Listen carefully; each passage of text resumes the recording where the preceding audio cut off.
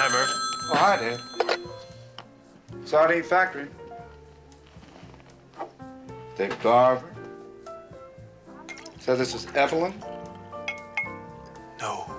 Sorry, you just missed him. What do you mean? He's gone. He's not here. Well, I think you better look again. Believe me, you just missed him. Now, if you're interested in someone a little more suave and sophisticated, I'll be happy to. That's what I get for being a dirty old man. There's a message for you, Madge. Uh, somebody from San Francisco? Brenner? Yeah, that's it. Uh, Monty gave her this number. Receive pictures and biography. Please send a tour or tape of your show as soon as possible. Thanks, Murph. Oh, don't mention. I can't tell you how thrilled I am to be your social secretary. You will put that on my tab, huh?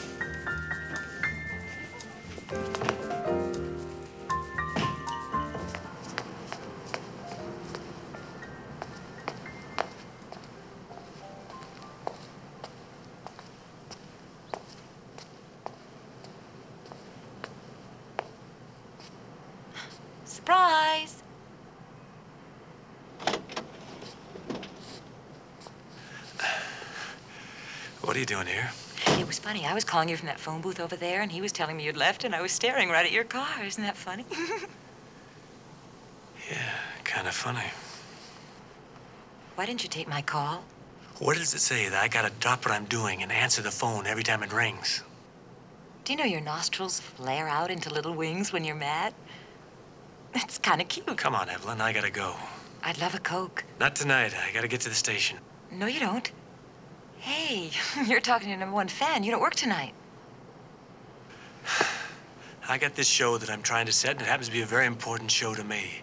That means I gotta pick the music, I gotta write the lead-ins, and I gotta find some poetry. Now, come on, will you? Poetry?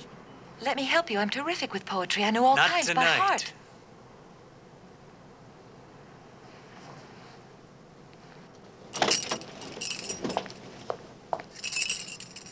Does he want his keys? Come on, Evelyn. Speak.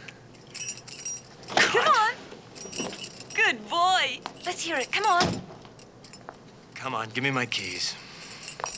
Come on, give me the keys. Come on. Give me the keys. God damn it. Having some trouble, lady? Get lost. Yeah, get lost, assholes. Yeah, let's split. He's got enough trouble already. Yeah, excuse me.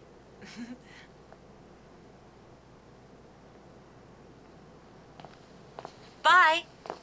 See you later.